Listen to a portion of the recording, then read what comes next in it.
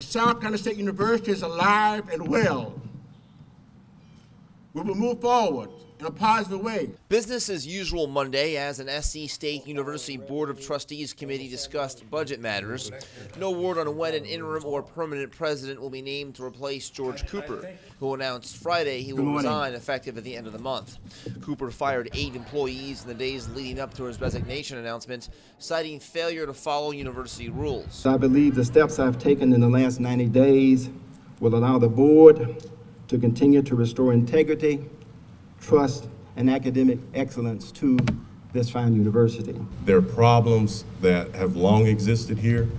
Many of these issues relating to potential criminal allegations, potential misconduct, or ethical issues are really symptomatic of much more deep problems. An SC State spokeswoman told WACH Fox News that Board of Trustees Vice Chairman John Corbett is the only person who can speak on the record about the presidential search. Corbett was in Greenville Monday, and attempts to reach him were unsuccessful.